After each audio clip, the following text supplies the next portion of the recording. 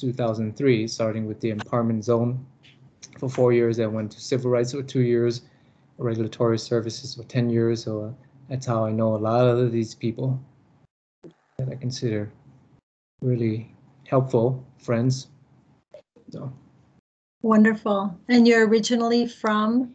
Yes, I was born in Laos and came to the US when I was about eight years old. Yeah. Wonderful. Thank you. So um, just to provide a little bit of orientation regarding our program today, um, this is being held in recognition of Welcoming Week, uh, which is a yearly opportunity connected to September 17th, which is um, Citizenship Day or Constitution Day, the date that our uh, US Constitution was signed. And during this week of Welcoming Week, we really take the opportunity to highlight ways in which we create a spirit of welcome in the spaces that we inhabit. We celebrate and recognize the cultural heritage of inhabitants of this country. Um, this year's theme for Welcoming Week is Belonging Begins with Us, a declaration that everyone has the power to help others feel welcomed, seen, and embraced. Um, and uh, for people who may have questions as we proceed through this interview, please don't hesitate to put your questions into the chat. We will take some time at the end um, for questions and for people to share their thoughts and their their own experiences if they would like to. Um, again, this session is being recorded, um, so please keep that in mind. And um, Narin, you know, I'm going to be asking you some questions about your background and your immigration journey. And again, really appreciate you. I know when we hosted an event um, for Immigrant Heritage Month, you were the moderator, you were the person asking questions, and now I'm asking you some questions. So really grateful for your willingness to be interviewed today. And I wonder if you can share with our audience why you felt like it was important to talk about your own background in the context and recognition of Welcoming Week.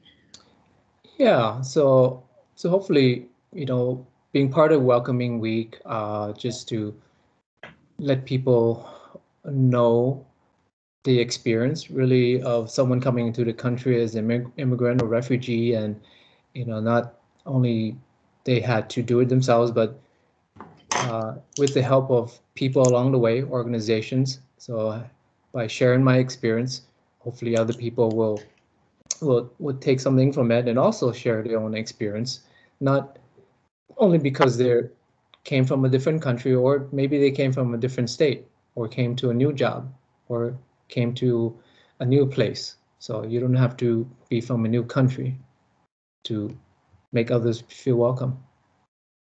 Thank you so much. And I am going to start sharing my screen because we do have some slides um, with some images that I think will help us um, as we proceed and just wanting to make sure if we can confirm, can, can you see my slides? Can you see the slides? Can you yes. see them? Yes, yes. Wonderful. Thank you so much. Okay. So, um, Narina, we know you're from Laos, um, and we have some information about um, your country. So the first slide here is um, a map of Laos and Southeast Asia, generally the countries that are around it. Can you tell us a little bit about your home country? Yeah, so Laos is in, in Southeast Asia. It's between it's the only landlocked country in Southeast Asia. It's between Thailand, Vietnam, Cambodia, uh, Burma, and and China. So so people from the north, south, central, they they look differently. Some could be really light skinned, others are more darker skinned like myself. Uh, and there are about 50 ethnic groups in the country of Laos. So super.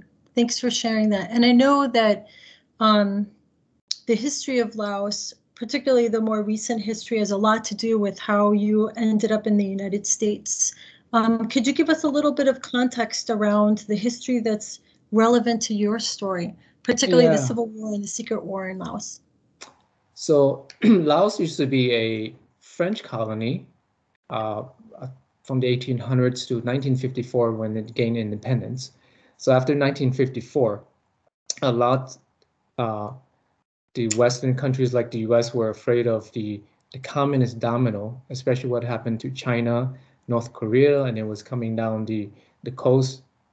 So that's that's how the, the term sort of the the secret war happened because there was a war in Vietnam, the Civil War, but Laos was neutral, uh, and there wasn't supposed to be any fighting in Laos, but the U.S. had a presence there, and you'll see the pink areas. That's called the Ho Chi Minh Trail, where North Vietnam would send troops and supplies to the south, and the U.S. had had had bases in Thailand, and it would send sorties, uh, planes, bombers to bomb the uh, the Ho Chi Minh Trail, and along the way work with the Ameri- uh, the Lao royal government and multitudes of other people in Laos.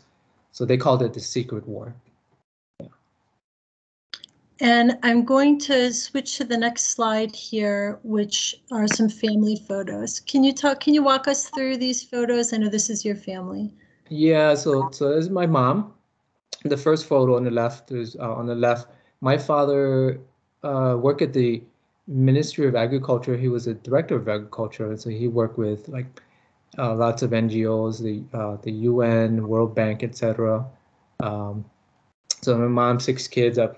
This is probably around 1974. I was probably five, six years old. There are six kids, and then also my sort of brother who came to live with us uh, on the right. And the far right picture is with my mom and the six kids. Uh, without my dad, probably after uh, 1975, because December 1975, the Laos Civil War ended right after, about six months after the, the fall of Saigon in Vietnam. So in December 1975, and the new government came and took over. Um, after the takeover, uh, people who were associated with the former government were um, sent to these re-education camps. So my father actually volunteered to go to these re-education camp to sort of learn about uh, the new system, the communist system, to get indoctrinated. Uh, but in reality, it was more like a, a, it was a political prison, a labor camp. Uh, someone like the the Russian archipelago, so something like that. You know, you would go into labor. They sent they were sent four to five hours away in the mountains.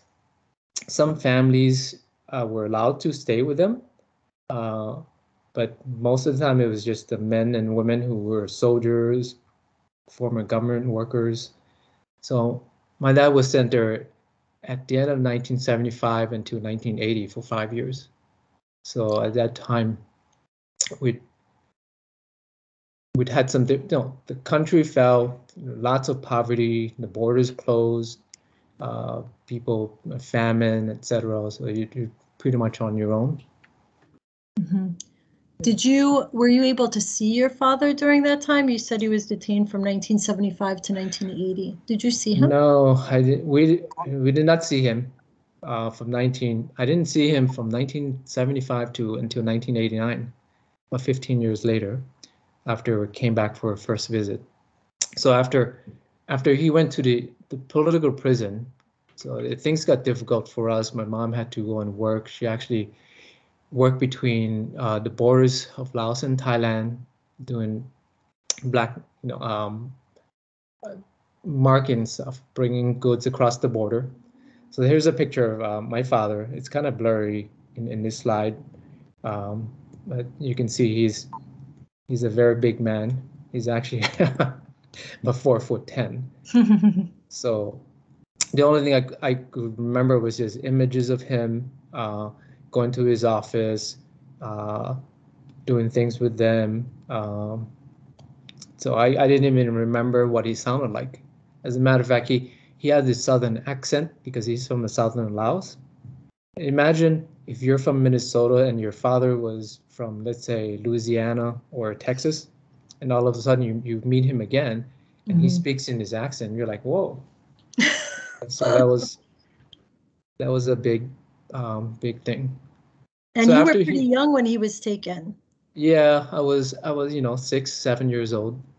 and didn't see him until again until 15 years later about Mhm. Yeah. And I know that, you know, sometimes when um, a family member is a focus of a government action like that, that there can be an impact on the family members as well. Um, did your family experience any challenges um, with regard to the Laotian government after your father was taken away? hmm Yeah, so I, I remember, you know, the loudspeakers uh, talking about the, the new, they call it brothers, you know, coming in, uh, about the new government. And but, you know, if you were associated with the old regime, you, you know, I remember armed soldiers coming to our house, not with pistols, but they would carry rifles.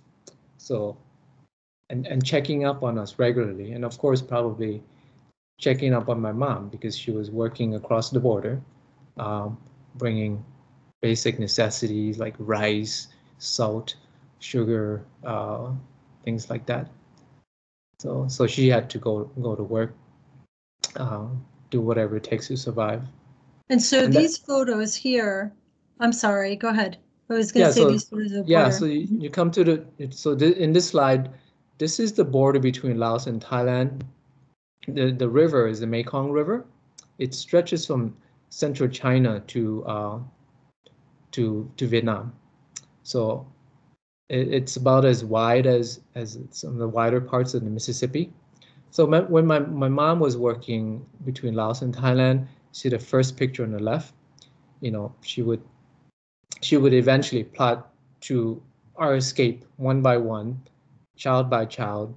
Um, so I remember just sitting at that like restaurant or cafe on the top left, and she would say, coach us and say, just walk down there, those steps.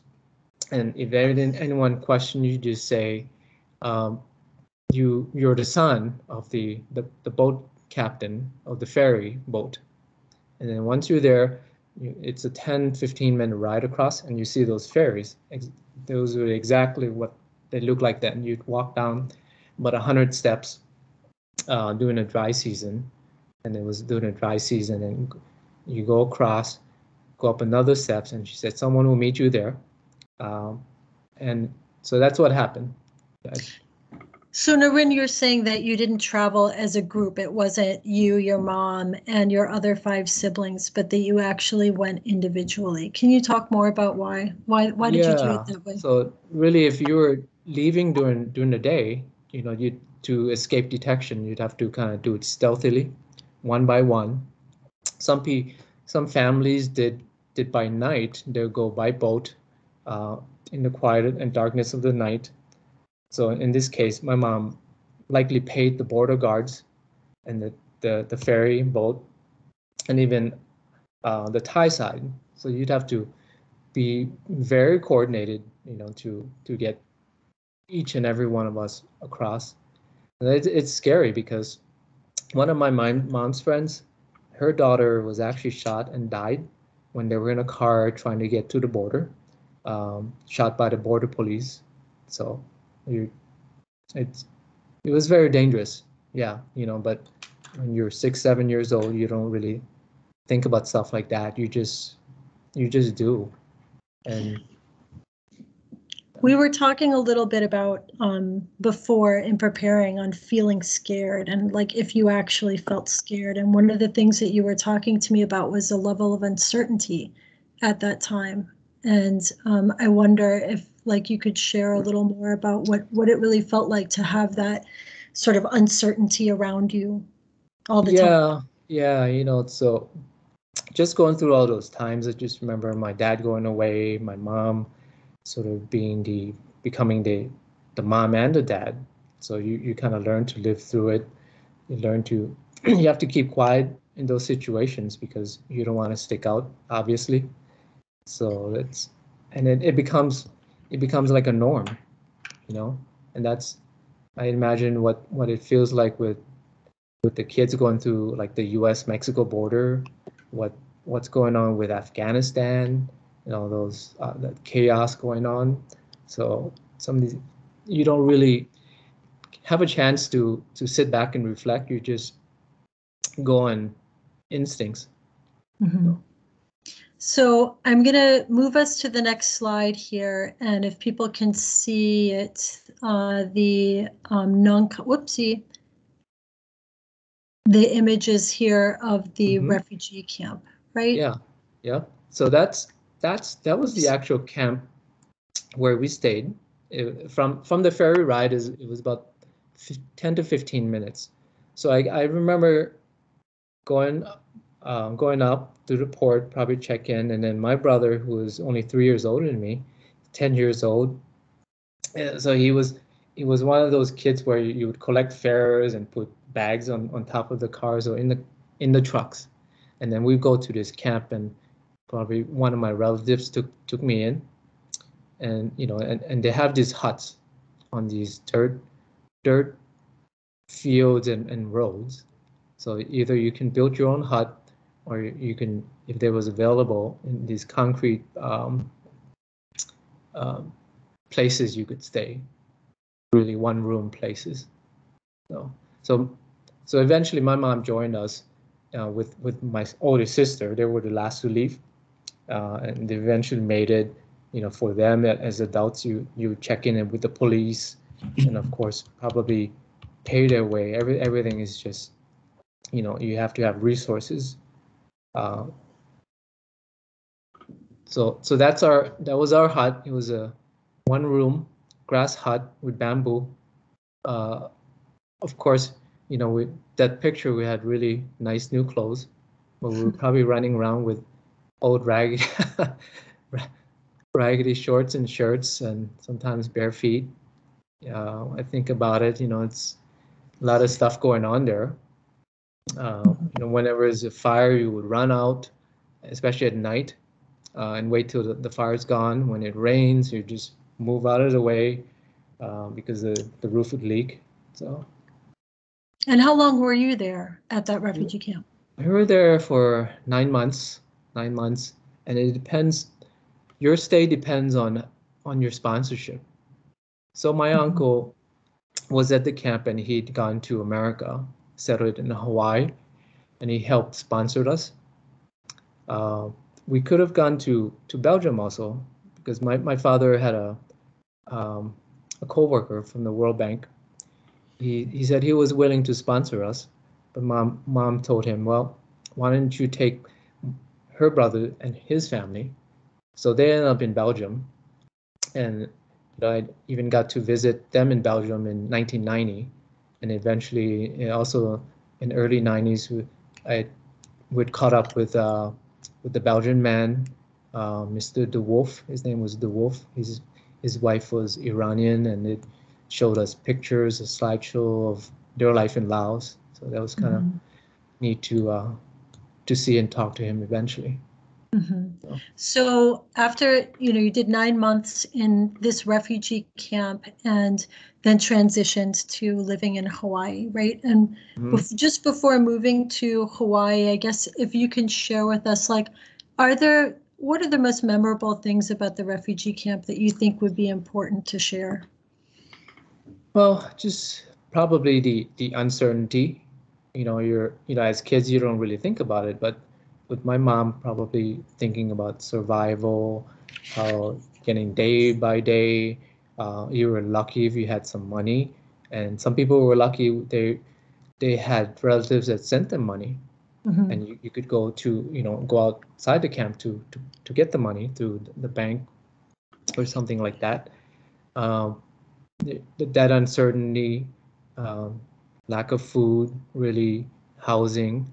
Um, you know, there's you'd see people, you know, fights, uh, but there were other things like people still celebrated, like the Lao New Year, little festivals, things like that, and life kind of goes on. Some people say they're more than a few months, maybe a few years. My wife and her family stayed in camp for about two years. Mhm. Mhm. And I would just invite um, our audience, if you have questions for Narin, um, please feel free to put your questions into the chat. I can't see them right now as I'm going through the slide presentation, but we will take some time at the end um, for people's questions, and then if people have observations that they'd like to share too.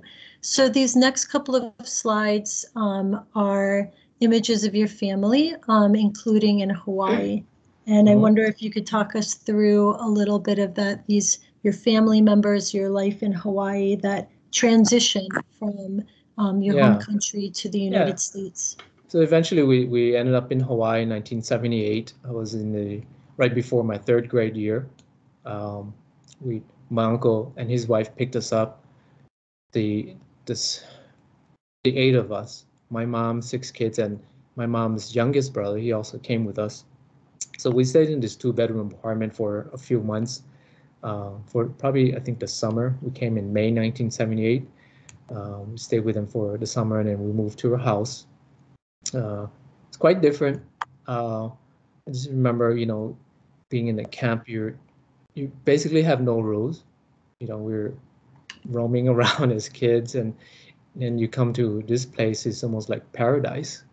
Um, Hawaii is predominantly Asian Pacific Islander, so that was a fairly easy transition with going to school because most of the kids were, uh, you know, darker hair, darker skin. But then yet you know we had to learn the language. Uh, we get in a lot of fights. I just remember getting into fights on myself my brothers sisters because the kids know. They know when if you're new and they, they would pick on you.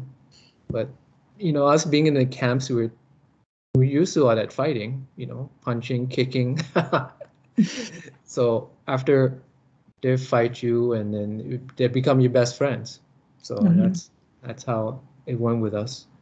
It, And this Uh, photograph of your family here. yeah, so this is about 1981. I was probably in the the fifth grade. Uh, so, and my Yep. sister is in in the back. Somchan, she's, you know, the the previous picture was most a tribute to her. Um, she was six years older. You know, being a single mom with my mom. So my sister was more like a kind of like a second mom to us. She to take care of us. She was already a teenager when she came. So a lot of times is you come as immigrants or refugees and you know the the children become sort of take on these these roles too, added roles of of adults. You just you just uh yeah they, they take on added burdens because my mom had work. She worked at the tofu factory, the hotel, maid service, uh, housekeeper, and then eventually she'd open a restaurant with her brother in 1982. And you know, situations get better, but it's still. I just remember we moved on We moved around a lot, just because of a large family and um, with landlords, and so it's. But yeah. Are there things about um, that transition? Were there things that helped you with the transition, positive things that made the transition to life in the United States easier that you would say helped you achieve success? Yeah, you know, luckily there were lots of people and organizations that were there to help us. You know, my uncle was there, and um, I remember that uh, one of the organizations, I think it was Catholic Charities, and you know, they would take us to get clothes and things like that, and um, teachers along the way. My third grade teacher, I still, fourth grade teacher, I still remember their names. Uh, Mrs. Miyashiro, third grade, Mrs. Nowaki, fourth grade. Mrs. Nowaki, the fourth grade teacher, teacher before I went on, she even took me and other students, Chung Su Chao. During the summer before our fourth grade year, she would take us to the museum. I remember going to see the first movie, The Muppets, uh, and go to McDonald's and go hang out at the beach. So people like that and organizations, you know, make you really think about how they made you feel welcome and help you along the way. So And I know that the transition to Hawaii, I mean, certainly you've made your way to Minnesota, but there was another step, right? So you spent some time yeah. in Virginia and you were quite young when you kind of did that on your own. Can can you talk to us a little bit about that? It seems like quite an unusual life for um, a, uh, a freshman in high school. yeah, so I, I guess I mean to my mom it didn't seem like a big deal. Uh, she thought, you know, with six kids in Hawaii, sometimes we were getting maybe getting to too much trouble. So she sent us one by one away again. this time, first my brother went, older brother went to Virginia. And he, he two years later he came back to visit, and she'd ask me, okay, you you want to go and, and see? I said, yeah, sure, why not? I'm, you know, when you're that young, you don't really think about it. You you'd hear stories, watch TV and movies about about the mainland. We call it we call it the mainland. You know, my like my eighth grade teacher, she would talk about Mrs. Tajiri, her life at Ohio State, how it was she went to the lake, just hanging out at the lake and do, after classes. I thought, wow, seems cool. I'll try it out. Uh, so I went to Virginia. Uh, me and my brother, he came and I went with him. Flew to Virginia for my to start my ninth grade year. Yeah. And how did that? How was that? What was your situation like? Uh, it was coming from Hawaii to Virginia. It was otherworldly. mm-hmm. It was. Awesome. It was a kind of a shell shock.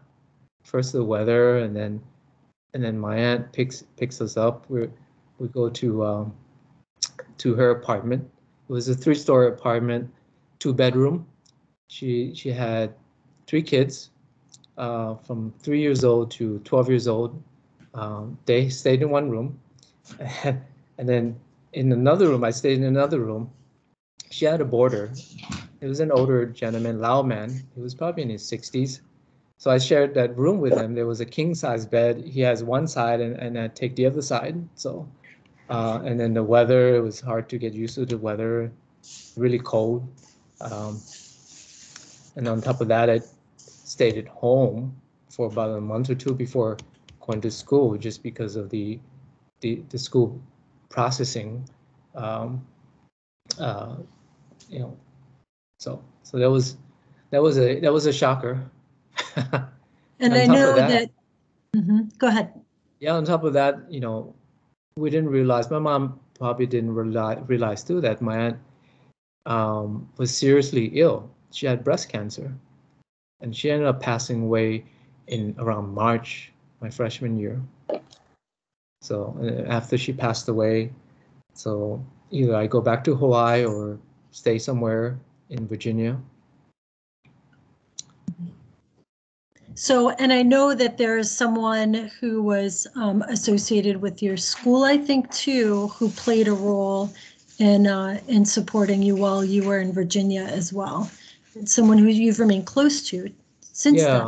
Yeah, yeah. So luckily, you know, my my wrestling coach, he was a volunteer coach. He, he was a lawyer with the federal government in Washington D.C.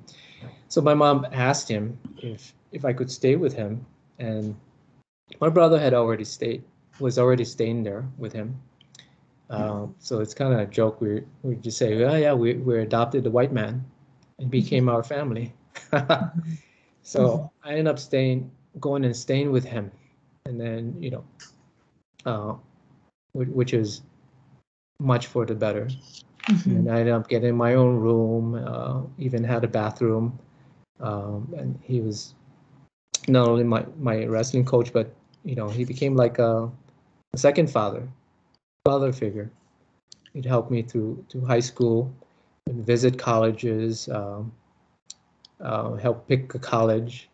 Eventually, I end up at Gettysburg College in Pennsylvania. Mm-hmm. So I, I, wrestled there um, as part of the the, the school. So th- things worked out much much better from then on. Mm-hmm. So I know that you went to college, graduated in 1982, um, became a naturalized U.S. citizen at age 18, and um, that you still, you know, retained a desire to find a place where you really belonged. And it sounds like that took you back to Laos, uh, where you ended up living yeah. for several years. Yeah, you know, there are a lot of factors coming to the U.S. at a young age. You're not having your father, so you, in the back of your mind you know you always i always think about okay what what it what could have been and there's a sense of of belonging you know, you don't feel like you're American, you, you know, and then you start thinking about, okay, what if I was to go back and see? So that's what happened. I went back to Laos from 1992 to 96 and worked with my father. He, he had come out and he was working in the coffee industry, doing import and export. And my mom had also gone back too, and she'd gone back and forth. So I decided I'd go and and and and work there and mostly get to know him and and kind of try to figure things out. And you know mostly just to see okay what kind of find out you know what kind of person he was and why he he had stayed behind while we we left. So and, and I know that you were sharing about how like there's some things that felt very familiar there, right? Like you told me before that you went back to the house that you were born in or that you spent some years in, but then yeah, also yeah. you felt Americanized. Can you talk a little bit about that dynamic? Yeah, so so I went back and it, it lived in the, in the same house I was actually born in. You know, back then you you were not born in a hospital, so you don't have birth certificate. My my aunt, my my dad's sister actually she was a midwife or nurse. So that was really the first time i felt like i belong somewhere you know having a place of your own. So that's something you i think a lot of immigrants and refugees feel feel in that you don't really have a sense of belonging until you really own something set roots have a family or something like that. So mm-hmm. that's that's what it felt like. It, it felt good Mm-hmm. But you left. Yeah. You left. I spent four years there. Uh, things didn't work out. And I hadn't saved much money, although I got, you know, got to spend time with, with my dad more, my mom. So there was a, and my grandmother, both grandmothers on my dad's side and mom's side and, and other relatives. But eventually, so my dad left, he retired from the coffee industry. So I had to figure to do something. So I came back to Hawaii. So I decided, okay, you know, by the time I'm 30, I better do something, have a career, or maybe have a secondary degree, so I at least find some gainful employment besides working at the family restaurant. So I ended up going back to school, got a, a MBA in China and Japan, international business.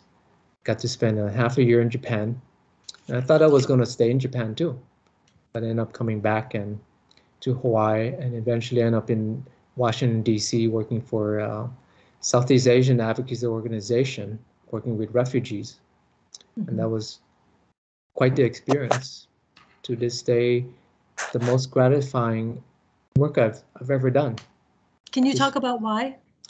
Yeah, it felt like I was giving back to the community, mm-hmm. helping people integrate uh, working with people, really great people, help helping other others um, um, become Americans. And um, you know, one of the more memorable things I, I, remember doing was traveling to Boston to work with the Lao family uh, who who had a grandfather who had died.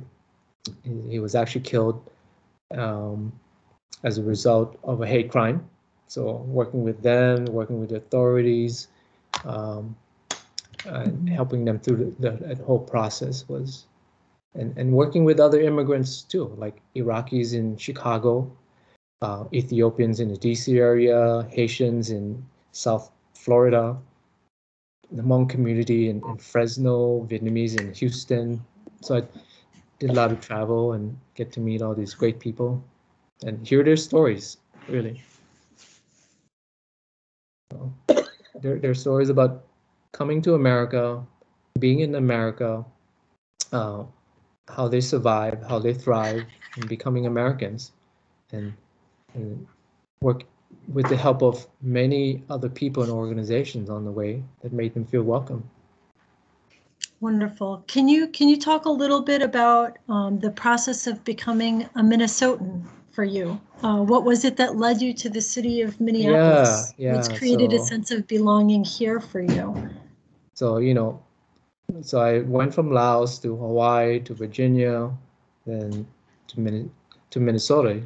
And go from warm, colder, colder now to like cold, really cold. So maybe the next place I'll go is Alaska, right? but so I came in 2003. Uh, when I was working in Washington D.C., we had an we supported an organization, uh, a local nonprofit. So I came to do a site visit and, and met my my wife, you know, and we'd known known each other for a few months, but I, I knew, yeah, I knew. So, uh, so I said, she's the one. So I saw on during one of my visits, I, I applied for a job, um, and I came for an interview for the city, and that was the only job I applied for. I came for an interview. I remember 2002, the winter of 2003. It was like a big snowstorm. So, so I've been here since 2003. Since then, yeah. Mm-hmm. And, and, we were talking about like having a sense of belonging, and you know, you had experienced that in Laos, being in the house that you were born in, and sort of uh, how did you rediscover that here in the United States, in Minnesota? Yeah, so this is the longest place I've been, 18 years now. I've spent mm-hmm. 12 years in Laos, another year in, in in Thailand, some in Japan, 12 in Virginia. So, you know, having a job, buying a home, having family, being a part of the community, uh, working, and then that I think, you know, that that sense of belonging. Mm-hmm. I think once that's, and my kids, they this is the life that they know, and for me, mm-hmm. even going back to Laos, you know, the, this slide here, went back to visit uh, Laos. Last time was 2016, and my dad is the far right, and Steve is right behind him, the, my wrestling coach, and my, my wife and daughters, and my dad's new family. So he's been married actually twice, and my mom never remarried. So that's mm-hmm. that's a sad part.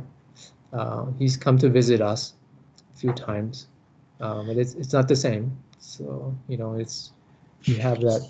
It's just that feeling that that empty feeling what of what could have been so that's mm-hmm. that always kind of stays with you so mm-hmm. Thank you for sharing that and you know if we talk about um, the sense of belonging and thinking about how belonging begins with us there there's a component of it that is each of us and what we do um, and the actions that we take in our lives but then there's also how other people act and how other people make us feel welcome or help create that sense of belonging. Mm-hmm. Um, Narendra, really grateful for um, sharing so much of your life with us today. I'm curious about um, how your experiences have had an influence on your career, on how you conduct your life, on how you interact with other people. Yeah, you know, I think about like especially what's happening with uh, Afghanistan, how you know the, even the southern borders, people coming in, and eventually we'll see people from Afghanistan here. We've seen people from, from Iraq. Uh, we've seen people coming from Central America, South America, and just how this is a situation that I went through and, and other people too who went through the same thing. Um, you know, and how they they did it and and others helped them along the way so and and with the work that we do today i just think about you know treating people with with dignity uh, you know regardless um, trying to a position you know where a lot of immigrants and refugees come from it's it's it's an auto authoritarian um, countries where they distrust authorities police government so we as public officials, I think can can can help them along that path to to become, you know, more trusting of public entities. Thanks so much for sharing that. Um, I'm actually at this moment just going to put a little link into the chat, you know, as part of our welcoming week celebration. Um, we do have a little survey, you know, where you can share your own um, welcoming experience of how you've made others feel welcome or how you felt welcome. Um, or felt a sense of belonging based on how someone interacted with you. Um, and you can share your thoughts on making um, Minneapolis a more um, welcoming city. Uh, I would invite people to, if you have questions that you'd like to ask Narin, to please put them in the chat or go ahead and raise your hand. I just want to say for Narin, um, thank you so much for allowing us to share in your own refugee experience. I know that, you know, when we see a successful and accomplished individual, um, it's, it's, it's, you don't immediately think of um, a frightened seven-year-old crossing a river by himself um, to go into a refugee camp. And um, it's so important to share these stories, uh, origin stories that really have led to who um, who people become um, as adults. I guess as we reflect on the meaning of Welcoming Week um, and a new opportunity for us to welcome people seeking refuge, including, as you've said, Afghanistan, do you have any last words or thoughts that you'd like to share about the concept of belonging and welcome? Yeah, you know, I, I think I want to thank the the audience, my co-workers and people for joining us. And, you know, I, I think we do a great job here in the city of welcoming um, immigrants, refugees, newcomers. Uh, there are other hundreds, thousands of other people like like myself who have this story. So you never know. Even though you're not a newcomer, you could be from a, coming from a new state, uh, new town, new city. So just the idea of making others feel welcome. Um, um, you don't have to be super friendly, but just saying hello, saying their name, asking how they're doing. I think that's that goes a long ways. Thanks so much. And um, thank you all to the audience for people who are making comments into the chat. Really grateful. As, as we mentioned at the outset, this session is recorded and will be made available to city employees, including people who couldn't be with us today. We're very grateful that you're able to celebrate Welcoming Week uh, this week with us. I do just want to highlight um, a couple of additional um, Welcoming Week activities this afternoon at 4.30 in conjunction with the City of St. Paul. We'll be hosting a bi-weekly immigration forum where we'll talk about a, um, an initiative to promote immigrant and refugee inclusion called Gateways for Growth and also share um, immigration focused updates. Um, this Thursday, in conjunction with the city's celebration of Hispanic or Latino Latinx Heritage Month, there will be a Spanish 101 session with um, City of Minneapolis employee Justo Garcia. That's Thursday at noon. You can find that event and all the Latino Heritage Month uh, programming on the Somos SharePoint site. Um, on Friday, uh, check out the city, um, the city's Facebook page for um, a How to Become a U.S. Citizen webinar, also in conjunction with City of St. Paul and Immigration Legal Service Partners. And I am just going to put a little bit of information in the chat on the topic of Afghan evacuees and how to provide um, assistance and support. There is a um, national web page now. It's welcome.us um, which is a way to channel um, support that people have to offer. I'm just putting that into the chat right now. There's also through the State Department of Human Services, a Gov Delivery um, uh, newsletter where if people locally are interested in offering support and just finding out how can, they can be of help, um, that's a, a, place to go to get regular updates. So finally, I'd like to say this is the second in a series of conversations. The first one um, took place during Immigrant Heritage Month, where we invite city staff to share information about their own background. Um, and if you are interested in um, having future conversations, participating, leading, um, doing a panel discussion, if you have ideas, um, please don't hesitate to contact Narin or myself. I'm just going to put my contact information into the chat. And Narin, if you'd like to add your info to, or if you'd like me to add your info, um, okay. feel free. Yeah, and Michelle, I want to add if if yes. the audience want to chime in, they have a story, or just want to talk about the work that they do or the experience, please feel free. So, you know, a lot of people here work with immigrants and refugees and, and have their own stories too.